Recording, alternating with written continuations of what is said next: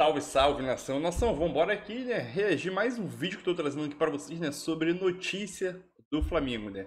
Flamengo muito perto de fechar com o Rossi, muito perto mesmo. Só ter que esperar o ano virar agora, né? Para assinar o contrato. Eu já tenho praticamente um acordo verbal já com o jogador. Flamengo ainda não desistiu de Gerson e monitora a situação do Douglas Costa, mas a situação do Douglas Costa tem muita rejeição da torcida, né? Rejeita muito. E os jogadores do Flamengo, como Everton Ribeiro e Davi Luiz, elogiaram muito o jogador, né? Créditos a ESPN Brasil, Grupo Disney, liga na descrição. Vambora pro vídeo.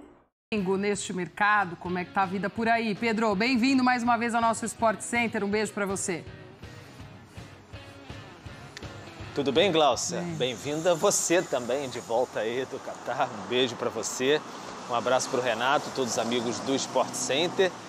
Sobre o Flamengo, Glaucia, é, a gente tem acompanhado bastante o mercado dos outros clubes aí, está bem mais aquecido, né? Os outros mercados estão bem mais aquecidos do que o do Flamengo. O Flamengo, como eu disse no destaque, o Flamengo tanto quanto observando mais de maneira pontual o que é, tem acontecido, tentando ajeitar ali o seu o seu elenco, porque perdeu o Rodinei, então tem Mateuzinho, tem Varela, tentando manter o que tem, na verdade, porque é, Felipe Luiz e Davi Luiz tiveram as suas renovações, estão mantidos. Ayrton Lucas, ele também está mantido, foi comprado junto ao Spartak de Moscou por 7 milhões de euros, então não deixa de ser um reforço, né? O Flamengo poderia perder esse jogador e mantém muito foco ali no Gerson mesmo, porque quer ter o Coringa de volta. O Flamengo quer bastante ter esse jogador de volta para a próxima temporada, mas o Olympique de Marseille, que comprou o Gerson junto ao Flamengo ali em 2021, tenta de todas as maneiras tirar o máximo possível de grana do Flamengo. Quer cerca de 20 milhões de euros pelos 80% que tem essa fatia do Gerson. O Flamengo ainda mantém 20% do jogador. O Flamengo acha o preço muito salgado, ainda tem a receber 6 milhões e meio de euros mais ou menos do Olympique de Marseille, então tenta uma composição com os franceses. Fala com os franceses, tenta a ajuda do Gerson, mas de fato está complicado, está um tanto quanto difícil essa situação. Então o Flamengo tenta até para depois dar passos mais incisivos no mercado, porque você imagina que não gaste 20 milhões de euros, mas que comprometa 15, 16 milhões de euros já é um valor bastante alto, principalmente para padrões sul-americanos, e aí depois o Flamengo tem que se reorganizar na mesa do mercado para saber o quanto ele tem que gastar. Em relação ao Rossi, o goleiro do Boca Juniors, o Flamengo tem interesse no jogador, mas não se manifesta de maneira mais incisiva, porque aí poderia se caracterizar como aliciar o jogador, que ele ainda tem contrato com Boca. A partir de janeiro ele pode conversar assim de maneira bem franca, porque aí poderia assinar um pré-contrato com o Rossi sem nenhum tipo de problema e assinando um pré-contrato pode até conversar com Boca por uma composição financeira também, para ter o jogador de maneira já imediata, porque o Mundial já é logo ali, né, Glaucia? Já é logo ali, é, é, em fevereiro, no início de fevereiro, lá no Marrocos, então o Flamengo está dando essas cartadas no mercado por enquanto e conversando com o Vitor Pereira, que só assume mesmo de forma oficial lá em janeiro porque aí ele pode comandar o Flamengo no CT. Ainda tem contrato com o Corinthians, tem que respeitar isso. Então, esses são os passos do Flamengo. Por enquanto, um tanto quanto repetitivo esse noticiário do Flamengo. A coisa parece que vai esquentar mesmo, mais a partir da reapresentação do time no dia 26, lá no Ninho do Urubu, e depois a partir de janeiro, quando começa de fato a formar time e elenco para o Mundial. Valeu, Pedro. Beijo para você. Obrigada também pela recepção, amigo. Até a próxima. E o VP, se ainda não ajustou tudo por lá, é assunto entre os jogadores. Vamos ver o que, que o Davi Luiz falou sobre o treinador português. Conheço o Vitor há alguns anos, ainda não conversamos. Vitor é um treinador tremendo, de muita qualidade, um expert taticamente também. A gente sofreu com isso no ano passado, quando jogamos contra ele. Entrevista do zagueiro do Flamengo ao GE, elogiando já o futuro comandante, que ainda deve ter até reforços. Fala Flamengo se reforçando. Mas é, Renato, tem tudo para fazer um grande trabalho lá o português. Tem, tem qualidade, é, tem um prazo, um período um pouco mais curto né, para preparar a equipe para o Mundial. Não sei o quão pronto vai estar tá o Flamengo na questão das ideias que ele, que ele, que ele vai querer propor para a equipe. A gente já conhece elas, vai buscar um time que pressiona alto, que joga muito para frente, que gosta de ter a bola, enfim. Acho que em questão de, de estilo, de características do que ele oferece com relação a conteúdo, acho que tem muito a agregar.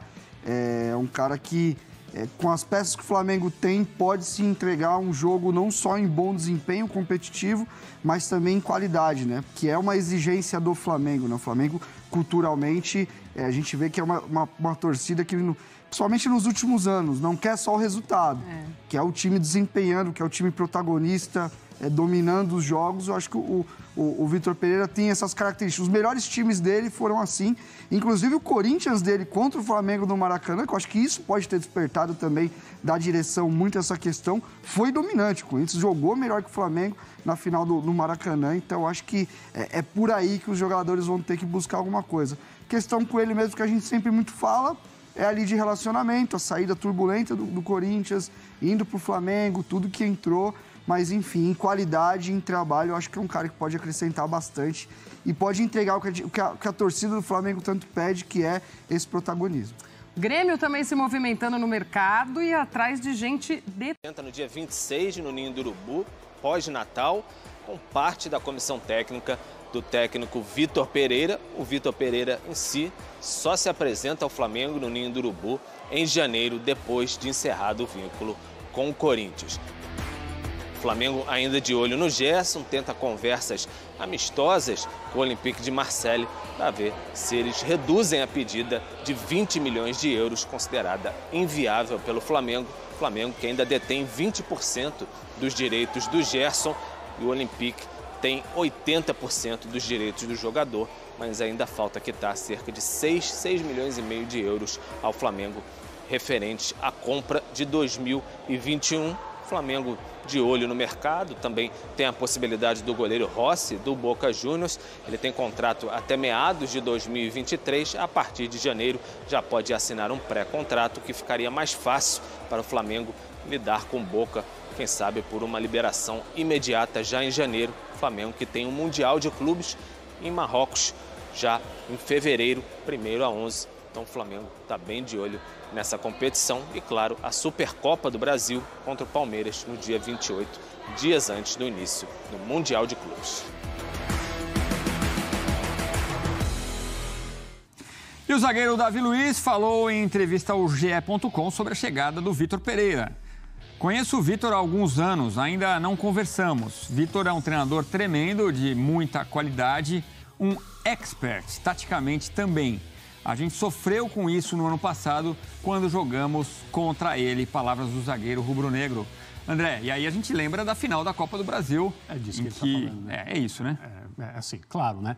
É, houve vários enfrentamentos entre Corinthians e Flamengo ao longo dessa última temporada, mas aquele que provavelmente serviu de conteúdo para esse comentário do Davi Luiz é a final da Copa do Brasil, em especial o segundo jogo, o jogo no Maracanã, que foi para os pênaltis e o, o, com aquele gol pênalti decisivo do, do, do Rodinei, o Flamengo conquistou a Copa do Brasil. O Vitor Pereira mostrou ao longo do seu período no Corinthians é, alguma capacidade de adaptação, que eu acho que é a principal virtude, a principal característica que treinadores de outros centros precisam aplicar aqui no futebol brasileiro, porque a vida de técnicos no Brasil é diferente da vida dos técnicos em qualquer outro lugar onde o futebol é importante, e conseguiu embora o resultado final não tenha sido aquele que a torcida do Corinthians queria, que o próprio Vitor Pereira queria, mostrar o que ele seria, mostrar uma, uma imagem do que ele seria capaz de fazer numa situação é, menos acidentada, digamos assim. Né? A temporada dele no Corinthians foi de muita dificuldade para manter a equipe. Ele perdeu muitos jogadores praticamente durante todo o tempo. Só no trecho final conseguiu trabalhar com um time mais básico. E, é, sem dúvida nenhuma, se trata de um excelente treinador é, as questões todas envolvendo a ida dele para o Flamengo, é, se ele falou a verdade, se não falou, se ele agiu certo na opinião das pessoas ou não, é, não podem deixar de lado um fato. Ele é um treinador muito bom. O grupo de jogadores do Flamengo é o melhor do Brasil. A não ser que alguma coisa é, muito desagradável aconteça no ambiente de trabalho mesmo, eu acho muito pouco provável que essa união Vitor Pereira e jogadores do Flamengo não dê certo. Acho que é Acho que, do ponto de vista da diretoria do Flamengo, buscar esse treinador para tocar em frente a, é, o seu projeto é uma medida acertada, é uma boa escolha. Seguimos uh, na espera, né, Antero, da entrevista coletiva de apresentação do Vitor Pereira, na qual uh, o assunto obrigatório é como fica a família, por que, que ele foi é, embora alegando a doença da sogra e agora volta tão rapidamente. Mas é, as notícias não eram muito agradáveis para o Vitor Pereira, né? Nessa chegada dele ao Flamengo, falava-se que os jogadores do Corinthians estavam falando para os jogadores do Flamengo que ele não era bom de relacionamento com o grupo, estava todo esse, esse clima estranho. Davi Luiz chega para falar: não, o cara é bom, o cara sabe tudo. É, é um ponto positivo para ele, pelo menos publicamente, né, Antero? Ah, claro, mas espera aí. O... Mesmo que não fosse, você acha que o Davi Luiz é um cara bom de comunicação, experiente, rodado, ia falar alguma coisa nesse sentido? de jeito nenhum. Fala, o cara é maravilhoso, sensacional. Eu falaria isso também, você, o André. Ou então, no mínimo, seria aquele silêncio obsequioso, né? Sim, vamos aguardar a chegada dele. É, o, o, que vai é, ser decisivo é o dia a dia. Ok, claro que os jogadores conversam como em qualquer profissão. Nós conversamos. Se houver uma mudança de trabalho, de chefia, pô, o cara é legal, não é legal? Como é que é? Dá para confiar? Isso é, é, rotineiro em qualquer profissão, mas é, é preciso ver na, na, prática. Os jogadores do Flamengo vão conhecer o Vitor Pereira não, não só no cumprimento, mas como ele se relaciona, as decisões que toma e, sobretudo, como prepara uh, o time. Claro que o André foi perfeito nisso. Ele fez um trabalho importante no Corinthians. Por isso chamou a atenção do Flamengo. Fosse apenas mais um, o Flamengo fala, deixa para lá. Né? Chamou atenção. A questão de explicar por que saiu e mudou de ideia, pode ter certeza que ele já tem isso na cabeça. Né? E pode até evitar o assunto, mas não, vai, não terá como, não poderá driblá-lo. Né? Terá que encarar essa situação. E depois, gente, é o seguinte: se ele for bem se adaptar, se o Flamengo obtiver vitórias e já conquistas, né, com taças a disputar com pouco tempo com ele em casa, pode ter certeza que isso vai passar batido. A mágoa, sim, fica com a torcida do Corinthians. Agora, do Flamengo, não tem nada com isso, vai recebê-lo e deve ser assim também uh, a receptividade do elenco. A gente não pode, de antemão, né, já queimar uma chefia se antes não trabalhar com ela. Então, é isso aí, nação. Trouxe é, um compilado de react, né? De dois programas, dois programas de Sport Center, né, que eu trouxe para vocês assistir. Espero que vocês tenham gostado. Eu, um Sport Center da tarde e outro também com o Antero Greco, que é um excelente jornalista, entendeu? Então, trouxe esse compilado aí de Sport Center. Espero que vocês tenham gostado. Outro ponto. Já aqui passando aqui para te desejar um Feliz Natal, né? Antecipado aí para vocês ou até depois que você estiver assistindo esse vídeo. E aquilo, é, o Vitor Pereira, ele tem tudo para dar certo no Flamengo. É o que o Antero Greco falou no finalzinho aí, né? O que chamou a atenção do Flamengo pelo ótimo trabalho que o Vitor Pereira fez no Flamengo. O ótimo trabalho que o Vitor Pereira fez no Corinthians, no Corinthians, com poucas peças, com peças já com uma certa idade. Mesmo assim, ele conseguiu ficar à frente do Flamengo no Brasileirão, entendeu? Mesmo o Flamengo dividindo as atenções com a Copa do Brasil e Libertadores. Mesmo assim, o Corinthians sambou, sambou, desceu, subiu, mas ficou lá em quarto, entendeu? Então, e o Vitor Pereira é elogiado por vários jogadores, né? Everton Ribeiro, é... Davi Luiz, que já trabalhou com ele, Diego, Diego Ribas também já trabalhou com, com o Vitor Pereira e outros jogadores aí, né? O Oscar também já trabalhou com ele na China, então é só, é só elogio ao Vitor Pereira, né? Então aquilo, o que a gente espera é o Vitor Pereira faça o seu trabalho no Flamengo, seja anunciado no dia 2, faça o seu trabalho e leva o Flamengo às conquistas, né? Eu soltei um vídeo anterior a esse, falando, o Vitor Pereira soltou um vídeo falando sobre o que ele espera para 2023, né? Se você quiser assistir esse vídeo do Vitor Pereira, né, mandando um recado para a nação, nação rubro-negra, é só voltar no vídeo anterior aí do canal que você já vai ver lá. Beleza, nação? É isso aí, tamo junto. Espero que você esteja gostando do vídeo aí. Sempre, sempre em busca de melhoria e novos conteúdos aqui para vocês assistirem. Tamo junto e um Feliz Natal e um Ano Novo também, né? Tamo junto, é nóis. Valeu!